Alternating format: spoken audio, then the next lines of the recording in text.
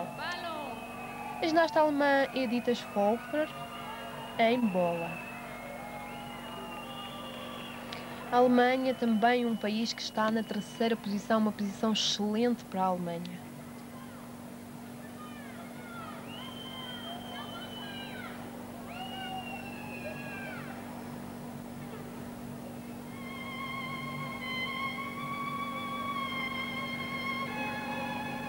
Um pequeno desequilíbrio.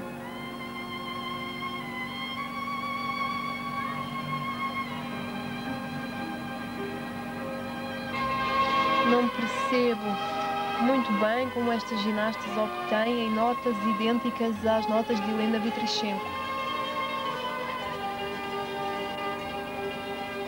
Edita ontem obteve uma nota de 9,950 em arco e 9,916 em fita.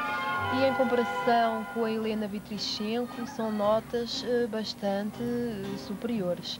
Vitrichenko obteve 9,783 em corda e 9,849 em bola.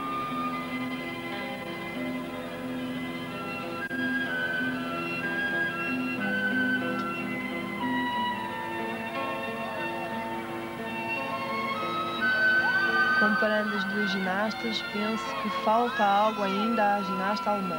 Embora a ginasta alemã tenha evoluído bastante e seja uma ótima ginasta. Pequenos desequilíbrios após os pivôs.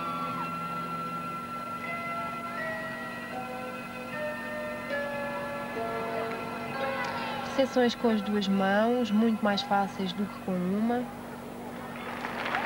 Foi um bom exercício. Vamos ver em comparação com a ginasta da ucraniana, com a ginasta ucraniana, Helena Vitrichenko. Estas comparações têm que ser feitas porque a ginasta ucraniana está a ser posta um pouco de parte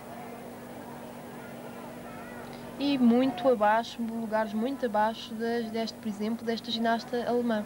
A ginasta alemã encontrava-se ontem na sétima posição, ao passo que a ginasta ucraniana Helena Vitrichenko se encontrava na 17ª posição.